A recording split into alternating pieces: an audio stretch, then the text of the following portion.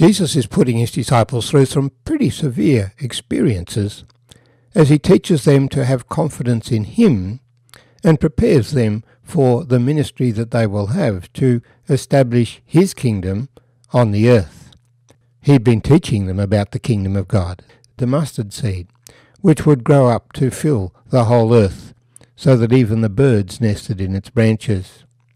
The sower, who would go out into the whole world with the word of God, and that word would produce fruit. It would grow secretly. And having taught the disciples and the people that day, he had said, Let us go over to the other side of the sea. He'd gone to sleep, and a huge storm came. They panicked and woke him up. He calmed the sea, but he reprimanded them. Why were they fearful? Then they came to the other side of the sea, to the country of the Gadarenes. And when he had come out of the boat, immediately there met him out of the tombs a man with an unclean spirit, who had his dwelling among the tombs, and no one could bind him, not even with chains, because he had often been bound with shackles and chains, and the chains had been pulled apart by him, and the shackles broken in pieces.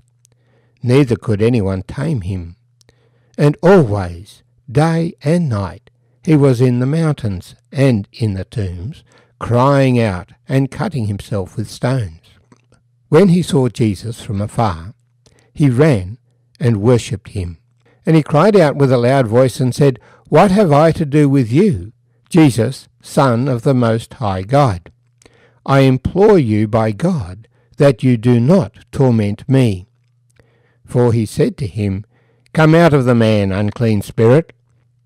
Then he asked him, What is your name? And he answered, saying, My name is Legion, for we are many. Also he begged him earnestly that he would not send them out of the country. Now a large herd of swine was feeding there near the mountains. So all the demons begged him, saying, Send us to the swine, that we may enter them. And at once Jesus gave them permission. Then the unclean spirits went out and entered the swine. There were about two thousand. And they ran violently down the steep place into the sea, and drowned in the sea. So those who fed the swine fled, and they told it in the city and in the country. And they went out to see what it was that had happened. Then they came to Jesus and saw the one who had been demon possessed and had the legion, sitting and clothed and in his right mind. And they were afraid. And those who saw it told them how it happened to him who had been demon possessed, and about the swine. Then they began to plead with him to depart from their region. And when he got into the boat, he who had been demon possessed begged him that he might be with him.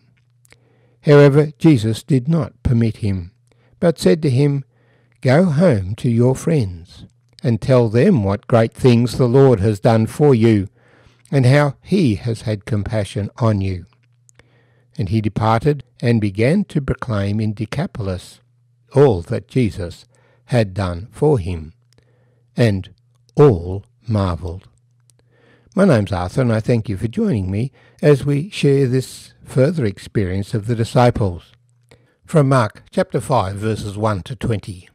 They are there witnessing a most extraordinary event.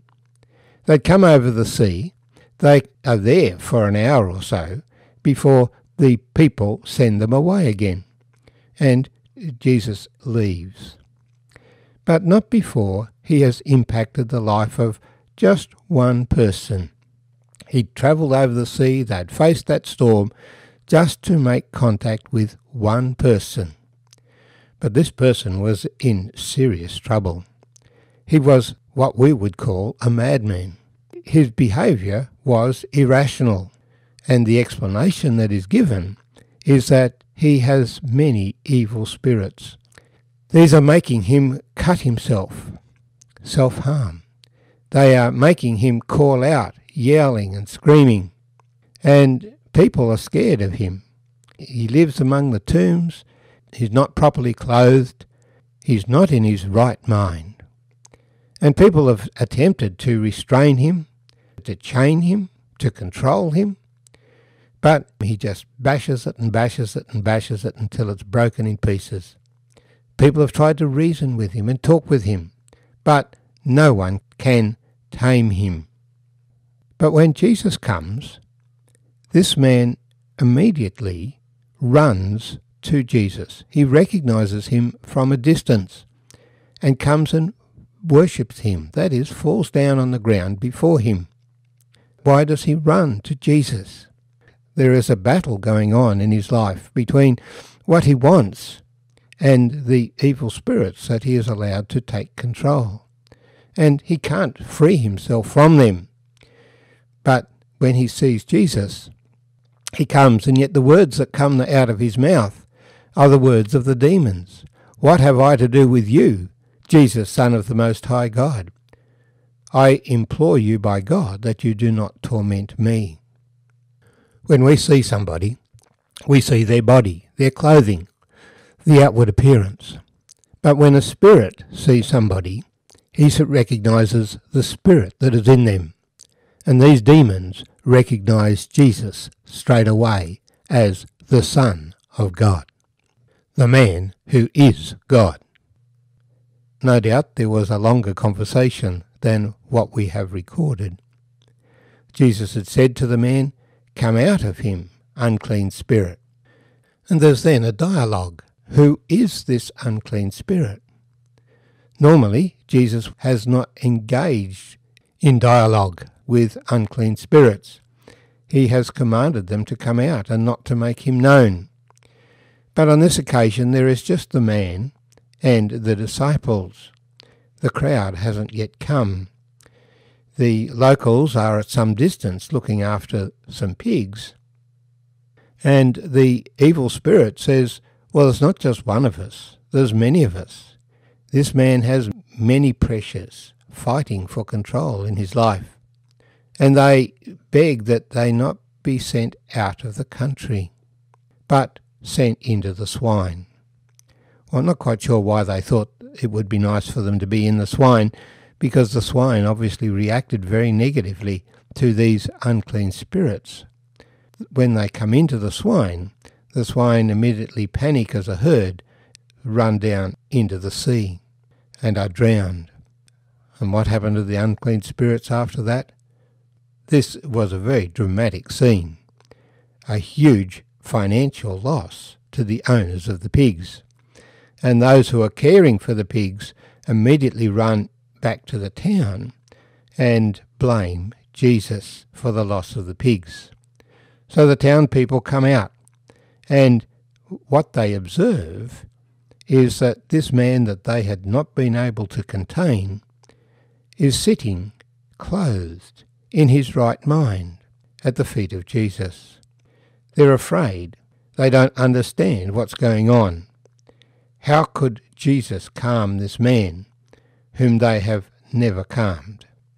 If they were scared of this man and this man is submitting to Jesus, then they have every reason to be scared of Jesus as well. What will he do if he's more powerful than this man? And so they plead Go away. We don't want you here. And so Jesus meekly gets back into the boat. But the man who'd been healed begs, Let me go with you. I want to stay with you. And Jesus says, No. You go home to your friends. Tell them what great things the Lord has done for you, and how he has had compassion on you and so he is able to speak with those who knew him. Particularly, it would have been those whose lives were in distress. His testimony changes the hearts of the people throughout the whole territory. It's a, an example of the mustard seed that grows. It is a picture of how the gospel can come in a very small way and just to impact one person in a community, but that testimony then grows. All marvelled.